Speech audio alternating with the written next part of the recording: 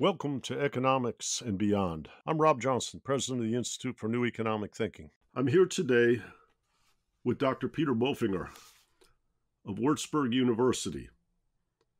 He has been for most of the last 15 years on the Council of Economic Experts, they used to call the Five Wise Men, though now it's inhabited by many women as well.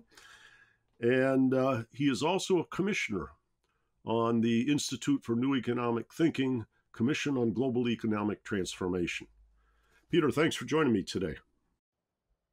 Yeah, thank you for giving me the opportunity to have this podcast with you.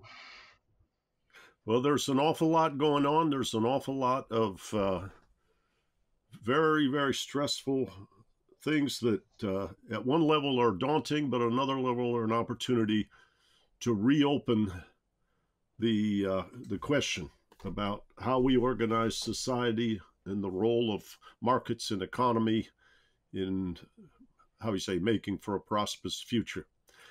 Uh, we've with the coronavirus 19 panic and the responses that you see I guess I'm I'm just curious, wide open. What what are your observations? What do you see being done wrong in some places? What do you see being done right? What's missing? What would you like to see? Well, first of all, I think it's important to make an assessment of what's going on. And just today, the IMF came out with its World Economic Outlook uh, and its forecasts and assessment of the global economy. And uh, I would say the analy- analysis of the IMF is, is very negative. I think what they present is a kind of economic tsunami which is hitting the global economy. Uh, according to the IMF, this is the worst recession uh, since the Second World War. And the forecasts uh, of, of the IMF uh, for the most important countries uh, are really terrible. So minus almost minus minus six percent for the US, minus minus seven point five percent for the euro area. World output shrinks by three percent. World trade goes down by eleven percent, and at the same time, unemployment rates will be going up uh, very in a very severe way. In the US, unemployment will increase from 7.7 to 10.4 percent. In Spain, uh, from 14 percent to more than 20 percent. So it's a, it's a really frightening picture that uh, the IMF is, has now has now presented, and um, well, how to deal with it? I think right now um, global leaders and politicians are also a little bit overwhelmed by the dynamics of this pandemic. I think four weeks ago, eight weeks ago, uh, the, the hope was it, it won't be that that bad, and now we see it's it's really really bad, and maybe it's getting even worse.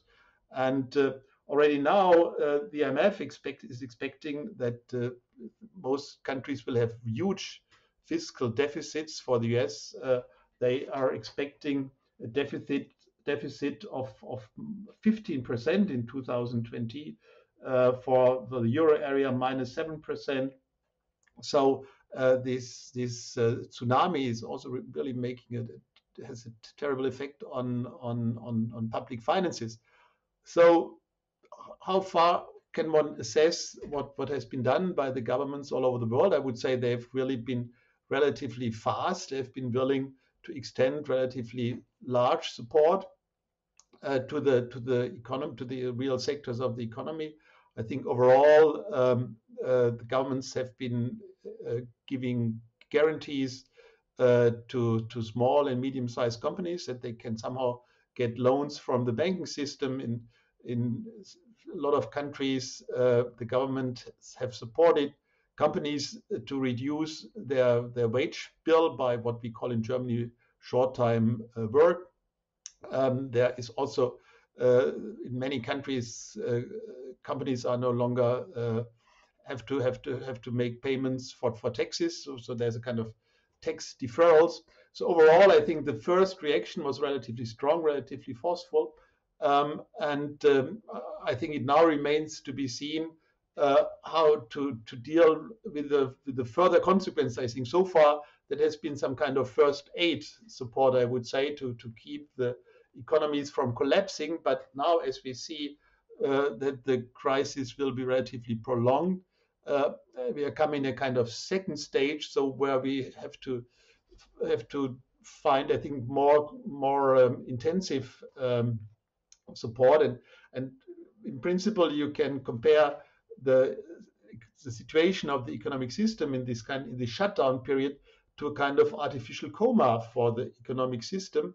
And during this artificial coma, it's the role of the governments to support the economic system in a way that once the shutdown is over, once the economic system is getting out of this artificial coma, that the damages are as small as possible. And as I said, the first support mechanism is liquidity support. And I think that has been provided in an ample way. But if the shutdown goes on, and I think that's what it looks like, in addition to the liquidity support, what is really needed is now also some kind of solvency support. And to explain this a little bit, I think the, the problem of the crisis, the longer longer it lasts, is that debt is built up in the economic system. You have uh, you have firms in the service sector and the production sector. Their revenues are going down, but they still have to make fixed payments not only for wages, there's possibility to reduce wage payments somehow, but they have to make payments for leases, for rents, for leasing, for interest, for principal. So they have still these fixed payments. And as long as you have to, uh, on the one hand, you have declining revenues and fixed uh, payments, of course, your debt burden goes up. And, and the problem and the challenge for the, for the governments is now somehow to relieve the production and service sector from this debt burden. Because otherwise, if if this debt burden remains in the private sector, of course, it will then translate from the production service sector to the real estate sector to the banking system. Then we will get a full-blown banking crisis, which threatens the whole financial system. And so, the challenge for the government is now somehow to relieve uh, the production service sector from this debt burden, and this relief we can also you can also call it kind of balance sheet repair, cannot be done with guarantees, cannot be done with liquidity support. This relief requires uh, solvency support. And I think this is still missing. I think even in Germany, where we have this bazooka, so our finance minister and economics minister, they are very proud uh, of having this bazooka, which is a very ample uh, and, and generous liquidity support, but it does not help to repair the balance sheets. And so in this second stage, the question is now how do we uh, provide the solvency support, how far governments are willing and able to provide this solvency support.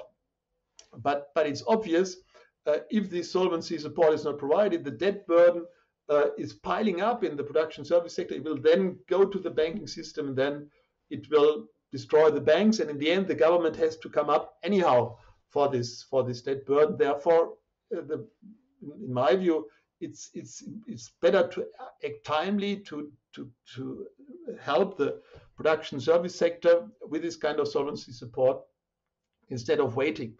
But um, this this is now, as, as, I said, a kind of second stage of of of the support, uh, which is still not very very far developed. And and I think many governments, I think in Germany, they have, they still hope they don't have to do it because liquidity support is not so much a, a, a burden for for the for the government, uh, uh, uh, while while solvency uh, support requires direct transfers, negative taxes, which of course has a direct effect on the uh, on the deficit of, of of the government. So you're kind of seeing a what you might call a chain. I've looked at your recent coronavirus uh, PowerPoint uh, presentation for CEPR. Uh, a coronavirus crisis now is the hour of modern monetary theory. I'll try to attach that uh, a copy of that to our website. But I, I watch uh, the flow, which you might call the sequence of balance sheet trauma that emanates. I guess what where is is the starting point where workers are asked to stay home and therefore, uh, if they get laid off or their wages, the business is closed down, uh, accompanying their going home, and then it starts to propagate through to things like mortgage payments or uh, just the, the losses in earnings in corporations. That moves to the financial sector. Where where should they intervene? How soon should they intervene well, they, uh, they should intervene yeah. as early in the chain as possible.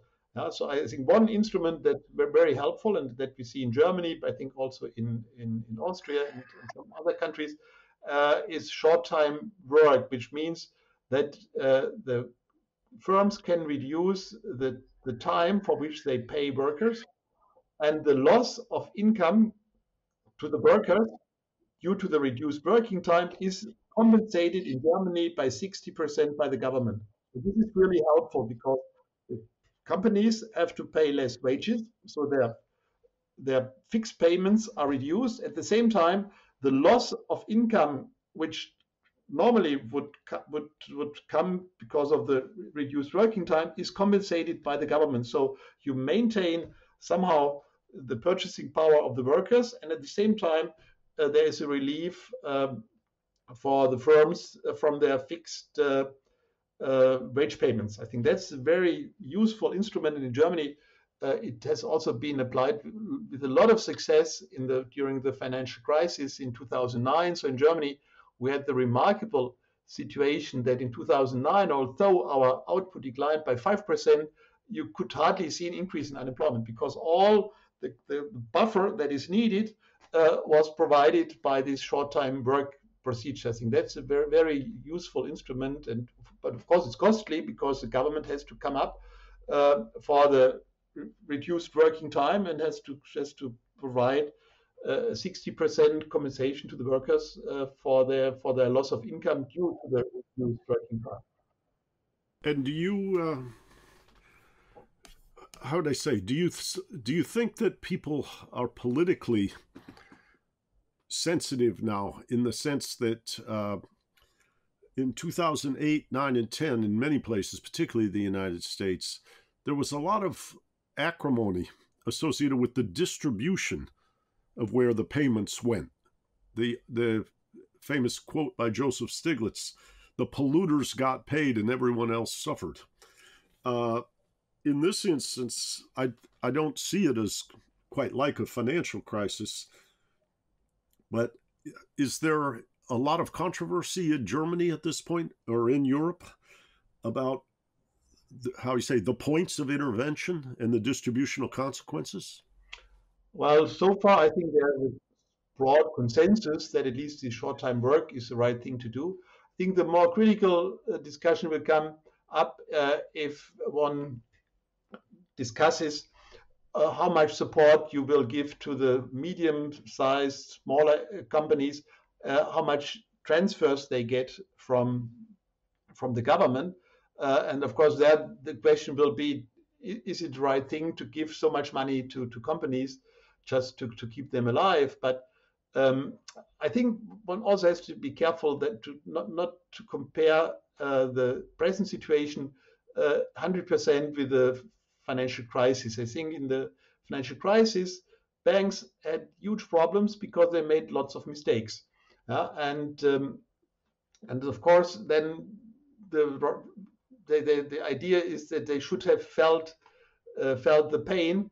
Um, and and I also, with all due respect to Joe Stiglitz, I would say the narrative that the banks did not suffer uh, in this in this great financial crisis is also not really correct because the stock prices of banks uh, declined tremendously. So the bank owners, uh, they made huge losses until now. If you compare the share prices of German banks to the share prices in 2007, there were huge losses. So anyhow, but today, if companies get support or need support from the government, it's not because they have made wrong decisions, because their business models uh, were not successful, they make losses because the government has decided to close down businesses in order to safeguard public health.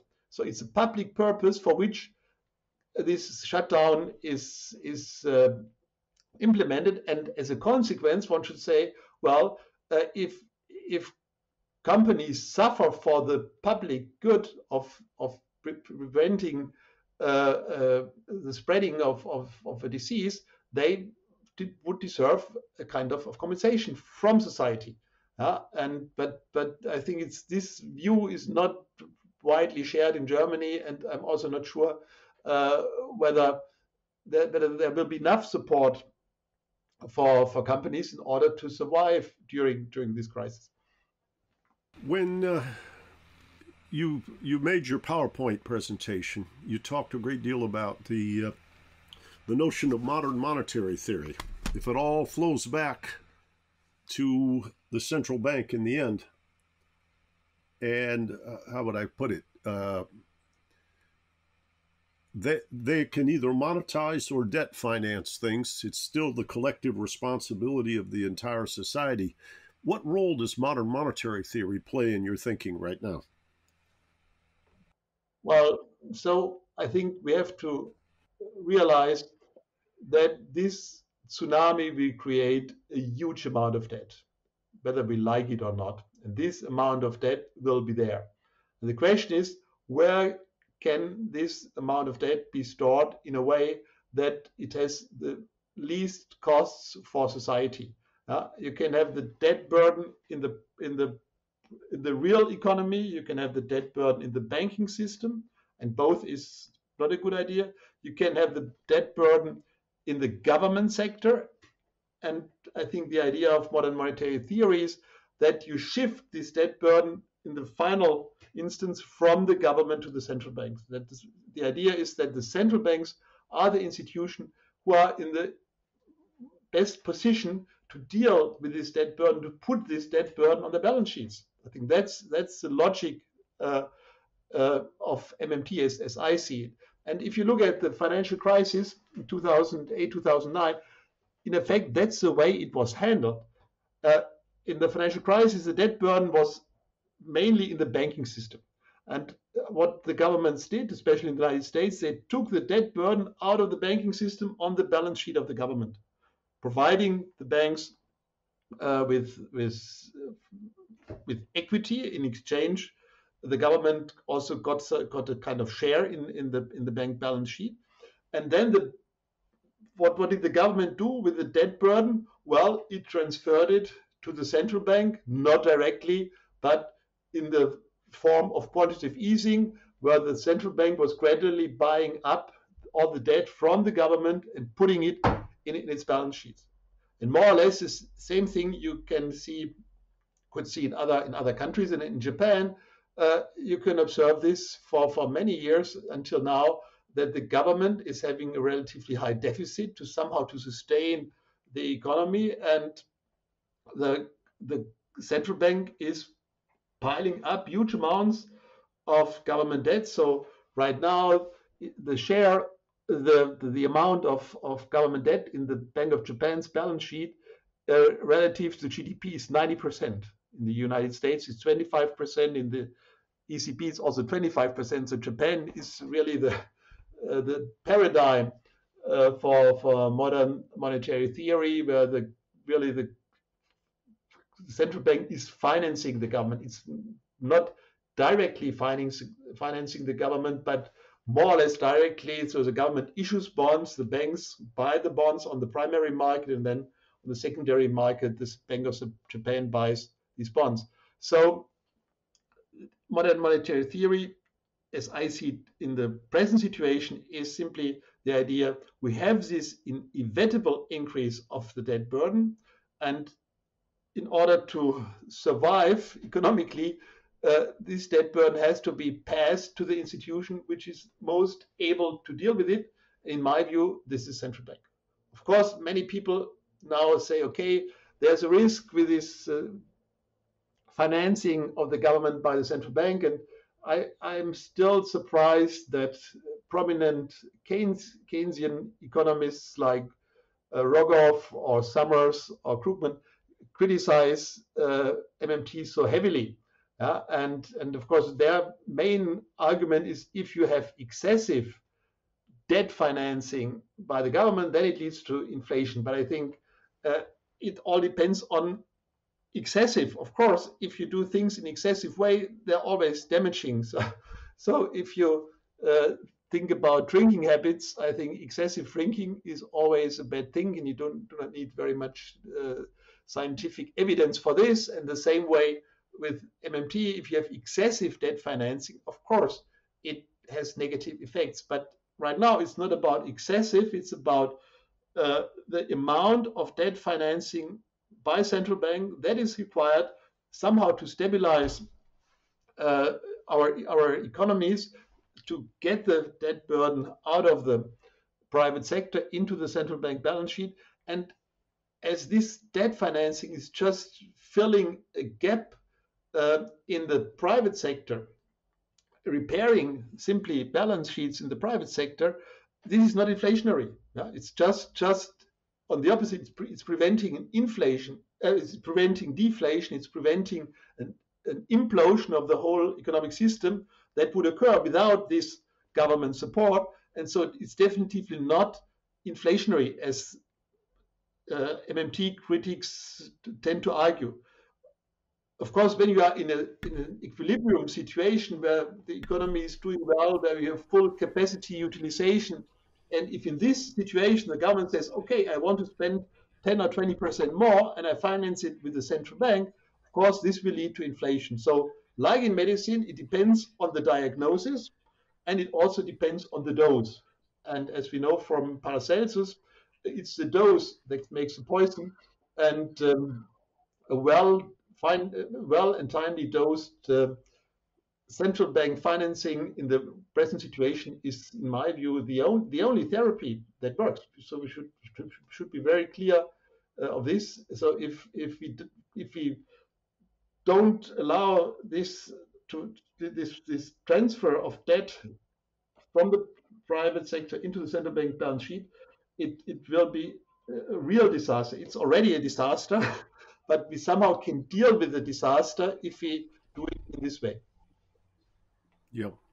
Well, I sense, uh, first of all, the, the idea after 2008 that there is scarcity. I remember the acrimony in the United States on both sides, you know, both Republican and Democrat, which was they got all the money in the world to bail out the banks, but all of the states and localities had to lay off policemen, close hospitals, increase class size in schools because, quote, in the downturn, no one could afford it. And uh, there was a movement on the right in the United States, uh, led by Ron Paul, about taking away the independence of the central bank because he said at the time, these guys are picking winners, and the winners are all in the financial sector. Now, one can say, I think, uh, in tension with that, that if you let the financial system collapse, it takes the whole real economy down with it. And so going to that point of intervention made some sense in 2008. But this whole tension about picking winners and the use of scarcity in an MMT like world is, is a very different or a difficult argue, argument to make as to where the constraints lie. Some of the people I know who are very uh, positive about MMT tell me that uh, where they think the tension or the instability is is when one nation engages in it and another doesn't, and the implications, therefore, being for the foreign exchange market that the currencies uh, appreciate where they uh, maintain the scarcity notion and where they use uh, extraordinary measures, the, the currency depreciates and we end up into kind of a mercantilist uh, battle shifting the burden of deflation. How, how do you see all of that? Does that does that uh, well, I, I, I would, a concern? I would say the exchange rate argument is also one of the main criticisms against MMT. So they, the, the critics say, well, if you have uh, if you have MMT, you get a depreciation and you get a currency crisis. But the current situation, I think this doesn't apply because all all economies, big ones, small ones, advanced ones, not so advanced ones, have the problem that they have huge deficits.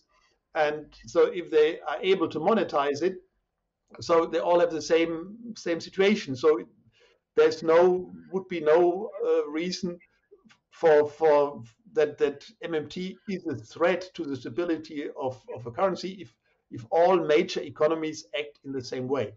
Uh, and I think the US the US, US will do some kind of, of MMT. They will not call it like this, but but it's obvious if you have 15% deficit in in 2020 that somehow the Fed will buy up uh, the, the, treasuries. There will be no doubt about. In Japan, they will do the same thing. They will do it in uh, in in the UK, and in the eurozone, the same thing will also happen to some degree. The uh, ECB has has announced its PEPP uh, pandemic uh, purchase program. so all the central banks will do it in a way. They will not call it MMT because many many observers uh, dislike dislike this this term and they don't want to see it that clearly. But that's that's how it will be going on.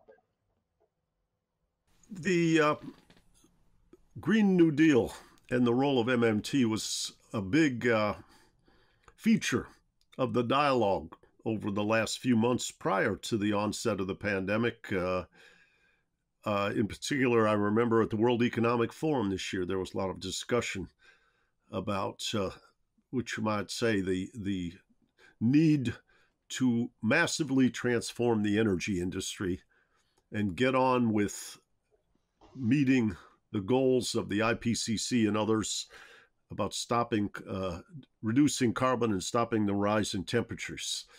And many people saw MMT as a complement with an E uh, to that process. Do you see the uh, question now with the pandemic? Will this accelerate the move toward what I'll call institutional transformation and embracing of climate? Or do you think people will be exhausted from the fear of the pandemic, the balance sheets all loaded up from uh, carrying the debt that the recession, uh, pandemic related recession has created. And I guess the other question is there scope, if that recession is prolonged, to use energy transformation as the equivalent of a New Deal to stimulate the economy, transform the nature of jobs, get people back to work, and, and contribute to the recovery? Yeah, it can go both ways. Uh, a negative scenario would be that inevitably debt levels will go up. Uh, public public debt levels will go up, and um, conservatives will say, okay, now we had this um, huge increase of debt, and now the most important thing is to reduce debt levels. I think in Germany, uh, we, this discussion has already started. It's funny.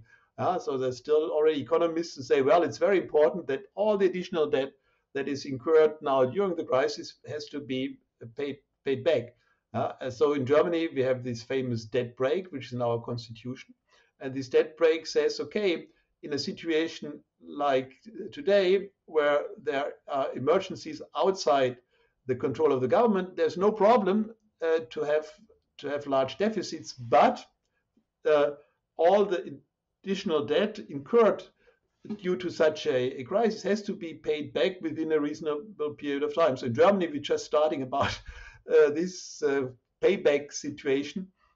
And of course, that's that's would be the really negative outcome that we have these uh, higher debt levels, and for the next 10 years, we have to, to have to pay back all all this debt, and there's no money, even less money is available for ecological transformation and all that stuff. So that would be the negative scenario. The positive scenario could be uh, that people wake up and and realize uh, all these doctrines about balanced budgets, about black zeros, as we call it in Germany, of debt brakes, realize these, these are only doctrines which have no scientific foundation. The same applies to the famous 60% debt threshold uh, in the Maastricht Treaty. Uh, so, which, which had absolutely no, uh, no academic background, which has no evidence. Uh, and, and, overall, uh, if, if one looks at all the fiscal rules uh, that are floating around, there's almost no evidence for that. So you, of course, know this famous article by Reinhart and Rogoff uh, saying, okay, 90% uh, is the maximum debt level that, that countries can can can can bear and then of course it was it was found out it's all it's all nonsense the, the calculations were flawed so the, the positive approach could be that people realize all these doctrines have no sound sound academic, uh, scientific basis, and let's think about fiscal policy in an open way. And Abba Lerner, he's the father, was a father of uh, MMT and father of what is called functional economics. He said, do not forget about these doctrines, ask about the effects of fiscal policy. And, and getting rid of these doctrines would be a wonderful opportunity to, to ask, well, what are the challenges that we have once the shutdown is over? What are the challenges in terms of green transformation? And, and what can we how can we use fiscal deficits and central bank financing in a way to achieve these, these targets? What are, I think, the, the main uh, message of, of MMTs, there are no financial constraints for large economies. There are real resource constraints, of course, and you have to, to have to respect the real resource constraints, otherwise you get inflation. Uh, but in, if, if you have this ecological transformation, you can ask, should not ask, what you should not, not take these, these fiscal rules as an imperative, uh, but instead you should ask if we if we if we finance very comprehensive programs to transform our economies, where are the real resource constraints which could, could lead to inflation? I think that would be a kind of scientific way to, to approach it. And so that's my hope. The positive thing is that, that people uh, realize a little bit that these fiscal rules are, are, some something like the emperor's new clothes. It's just these are just myths uh, and narratives but which have no substance, and to get rid of them uh, would be a major, would, would be one really positive effect of this corona crisis. Let let me ask you about the European Union, because, you know, in the United States, we have a common monetary policy, common banking regulation, and fiscal transfers, in other words, a, a centralized and nationwide fiscal system so if something bad happens in Texas, you can, how I say, draw on the entire body politic to support the uh, local conditions that are dire in one region, say in Texas. Uh, in Europe, migration is not quite as free as within the United States. The fiscal transfers are not complete. You're kind of in an intermediate zone as a system. And then this enormous pressure from the pandemic comes down on it. Does is is there a risk of the European Union breaking up as a result of these yeah, yeah. of these challenges? Yeah, you're raising a very important point. Um, so first of all, uh, countries like Italy and Spain are very severely hit by the crisis. So for Italy, the projected uh, GDP decline this year is minus 9.1. For Spain, it's minus 8.0%. So they're even more uh, affected by the crisis than other other economies. And and now, if we talk about MMT, uh, you always have to take into account MMT is a recipe for relatively large, relatively closed economic areas. So when you are a very small country, MMT doesn't work. And now in the euro area, we have the problem that is that that you raised that we have a common currency, but we don't have a federal level, and we do not have federal bonds, which would be there to finance uh, all the member states in an MMT-like way. So we still have the national um, member states which have their national debt and have to they have to try to raise uh, funds on the capital markets uh, in their own responsibility. And so this so the conditions for a well-functioning well-functioning MMT uh, financing are not existent uh, in the euro area, and that makes the euro area extremely vulnerable uh, to this to this uh, Corona crisis. And you could already see it uh, after the great financial crisis, where you had this main recession in 2009 that affected uh, all all economies in the world, and then you had a kind of second uh, recession in the eurozone 2011 2012 2013 which was due to the fact that the countries had to raise money uh, on their own account. The member states they did not have the federal level. And this vulnerability is is a real problem of the eurozone. And the only way out uh, of this of this situation is to issue uh, joint bonds, kind of it's now it's now uh, called Corona bonds, which are issued by all the member states together in, in a joint and mutual liability. It, once you have these bonds, then you have more or less the same playing field as in the United States or in Japan or in the UK. And so that and, and it's extremely important to create this this kind of conditions uh, for for the eurozone to survive this this crisis. But unfortunately, uh, in in Germany, in the Netherlands, there is an extreme political opposition to this, which is really regrettable. And it's not only regrettable; it's also dangerous because if we can't fight the crisis, the economic crisis, with the right economic therapies, of course, in addition to the health problems, we get also huge economic problems.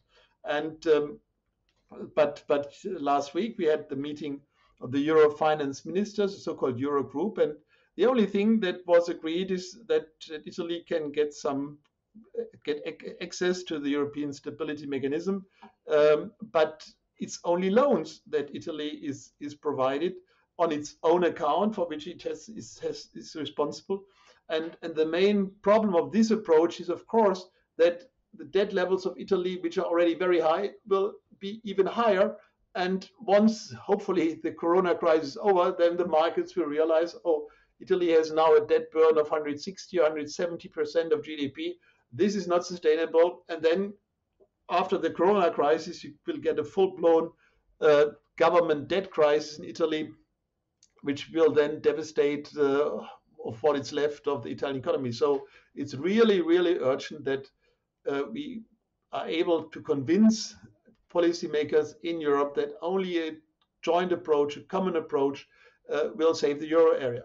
But but so far the the willingness, especially of the German political elites, of the of the whether it's the chancellor or the vice chancellor or finance minister, uh, is extremely uh, weak, and and it's, it's was was from the very beginning very disappointing that when, when the crisis started, from the very outset, uh, the German policy policymaker said we do not want corona bonds. That's that's dangerous. We don't want it. And now, of course, it's very difficult to get rid uh, of this of this position, and that's it's a real real threat economically, but also politically for the eurozone. Because of course, Italy, if if they if the Italians see that in in such a terrible situation, economically and also what what the health and and the and, and, and yeah the whole society is concerned that that the only thing the European partners are willing to provide is loans.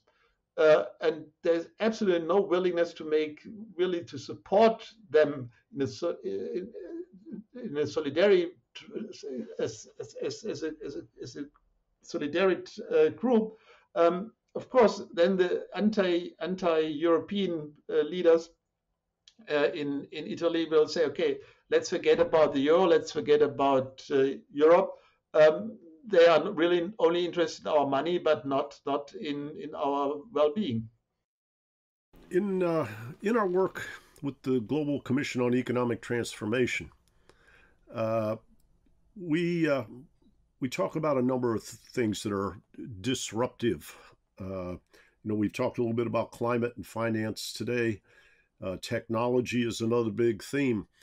But one that I know uh, Joe Stiglitz and Dani Rodrik are, are very concerned about, and I think we all share, is the notion of globalization and the notion of the nation state when many of the factors of production, financial capital, technology, can travel almost with the speed of light and people cannot shift uh, to regions and across borders nearly as easily.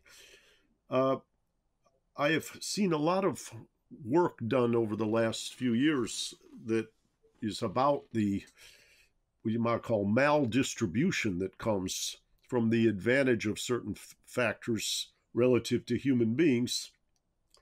But I've also seen a kind of clarion call for global governance on things that are essentially like global public goods, of, of which climate sits at the center. Do you see this pandemic being a, uh, a substantial influence in changing the way nations are organized in the context of a global economy?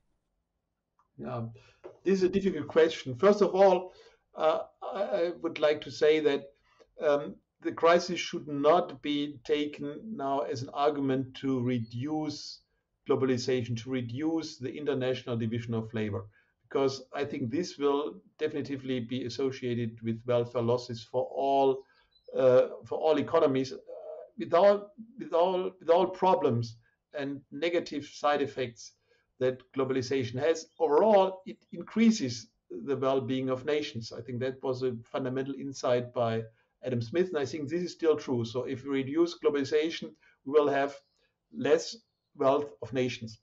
Um, but of course, uh, globalization uh, needs needs governance, and and in order for globalization to really work for the well-being of all nations and all people in all nations, uh, you need global governance. I think that's that's quite obvious, and I think that's where almost all economists would agree. And well, after the Second World War, which not another even more catastrophic event, um, the the global community realized that uh, only with global governance we can create a, a healthy uh, global economic system. So it was the Bretton Woods system, it was the World Bank, it was the, the GATT, it was the International Labour Organization. So this spirit uh, was there in, in, in the 1940s. And um, maybe as an optimistic scenario, could say, well, if if there's really a huge challenge which has kind of devastating uh, impact on our societies, that maybe then also there's an awakening uh, of of of of, of uh, politicians of the elites that only with a with a global approach things can be uh, can be healed and and and and that the return to prosperity and also to to and, and also that's the only way how we can can protect our climate. So i think this kind of enlightenment would would be a positive scenario but um, honestly, if you look at the political leaders so far in the United States, in the UK, in Brazil, in Russia, uh, I'm not so sure whether these guys uh, will be really uh, open for such an enlightenment. So, that, so that's, that's yeah. So you would really need need a change uh, in in in the in the leaders of of major nations in order to really to to achieve such an enlightenment and to get a kind of revival of this kind of Bretton Woods spirit uh, that was so important after the end of the Second World War. More, more generally, more wide open, we've seen the, which you might call bravado and audacity of people talking about how wonderful the world was and that technology would deliver us a much better standard of life and so forth. But at the same time, we've seen tremendous political discord. And when I look at these studies that were initiated, I believe, or at least brought to life in the eyes of economists by Case and Deaton on the diseases of despair and the geography of where those diseases are located and where the sources of economic disruption, automated automation, machine learning, technical change, the impact of globalization, fiscal, local fiscal austerity, the economic disruptors are located in the same geography as these diseases of despair, but in an even deeper sense, it's the same location of where the vote for leave in Brexit, Marie Le Pen, the AFD, Donald Trump, so there is a despair, there's a despondency. And now we have this pandemic that has descended upon us. Is this going to just break the, what you might call the sense of ideas wide open? Are we going to re envision or reconfigure society with all of this despair and all of these pressures uh, which you might call unmasking the need for rethinking? Are we going to just devolve into a what you might call stale authoritarianism? How do you see it? And, and, and most hopefully, how do you see the conventional wisdom needing to change in light of what we've learned? Yeah, so there again, two two scenarios are possible. So if if we see that uh, after after this Corona crisis, we have a lot of unemployed people. If we see that um, the incomes have come down, that people have lost a lot of money, um, so it, it, could lead to a narrowing uh, of thinking. There's a kind of survive. Each country is just looking for for its own survival, and um, and it will be probably more difficult to make a case for climate change, for a more for more uh, more um, more equitable uh, distribution of, of incomes. So it, it, it, could, could go this way that, it's just this kind of survival mode in, in, in our societies for, for the next few years after this crisis. Um, but as I said, I think the, the, the solution to most problems that with which our economies and, and countries uh, have been dealing the last few years is the lack of a global governance. Uh, a global governance for climate policy, a global governance for, for tax uh, standards, a global governance for labor standards, uh, global governance for competition policy.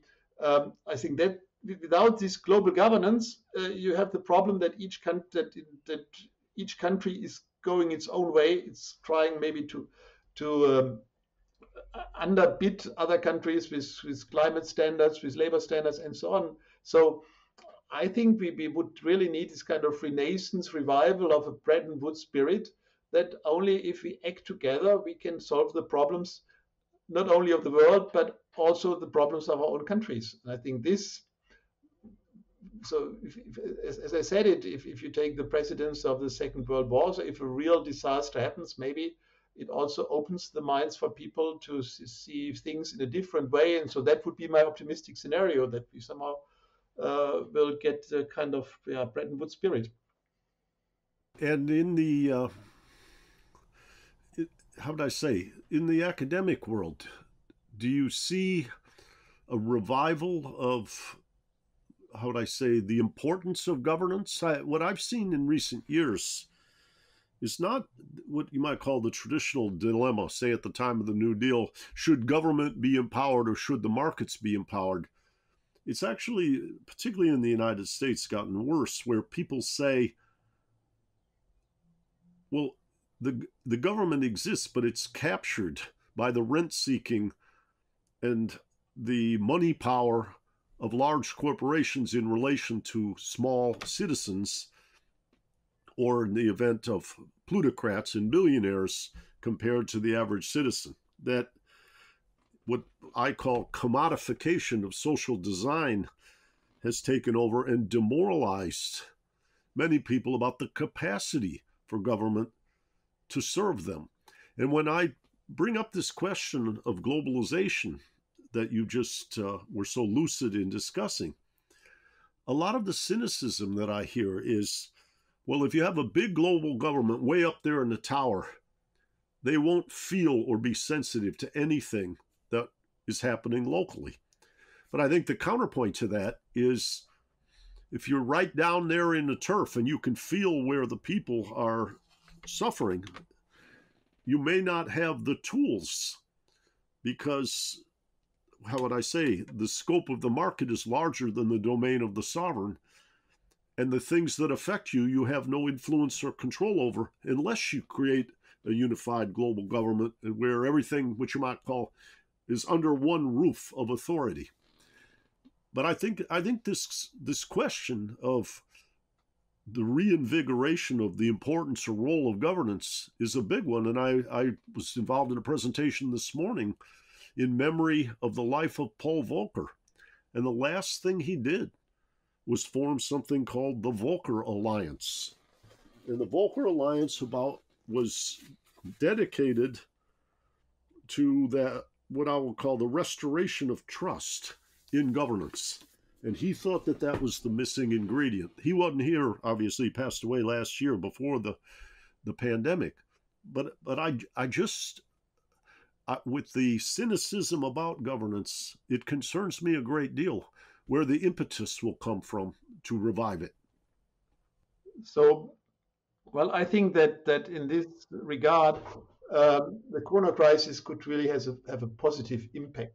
Um, look at the situation in in in the health sectors uh, of the economy. So in Germany, for many years, or almost yeah, for many many years, there was a complaint that Germany has way too many hospital beds. Uh, in fact, German, Germany has nine hospital beds per thousand inhabitants. In Spain, Italy, they have three. I think the United States also something like three. So, so for many years, uh, the statistics were showing, saying, look, way too much, way too many hospital beds in, in Germany. Uh, and of course, now today we see that in Germany, uh, the death rate of corona diseases is among the lowest uh, of, of, all countries. And so I think people will, will see that um, the market is not uh, not the solution for all problems, and that it's it's good to have a government that is able to deal uh, with such with such emergencies, uh, because the, the market will not will not provide you additional hospital beds that are probably not needed in, in normal periods of time. Uh, and so I think this is maybe can also lead to rethinking that we can see, okay, in areas where we had in countries where the where the government was was was stronger and was was interfering more, like in Germany in the in the uh, in the in the health sector, they were much better able to deal with the crisis than countries with, very weak and and uh, yeah, pressed from austerity uh, health system. So I think if you ask this balance between state and market, I think the I think there the consensus will be much stronger uh, that we cannot rely on the market to deal uh, with all with all uh, emergencies. So we need the government, a strong government, and a government that has enough money uh, to fulfill its role in protecting uh, its its people in in emergencies. Well, as they often say, uh, necessity is the mother. Of, what is it? What's the saying? Uh, the necessity is the mother of invention, and we yeah. do have necessity now. We do have a challenge, and we cannot afford, as a society, and I'm thinking at the world level now, to be neglectful or or not rise to this challenge. So in that respect, I think your your sense of hopefulness is a good one and very uh, very much on target. Well, Peter, it's been lovely to explore with you today. As always, I look forward to continuing to work with you in the uh, Commission on Global Economic Transformation. And uh, please keep us posted as you put out new and you know further insights and reports. I know you publish a lot of things for at the uh, CEPR Center for Economic Policy Research in Europe, and uh, I'm sure we'll get back together again on this podcast after a few months have passed and we have a chance to look at it from a different vantage point. But thanks for being here today. Yeah, thank you very much, Rob. It was a real pleasure to talk to you, and I hope that when we had a positive and a negative scenario, that in the end the positive uh, scenarios will materialize.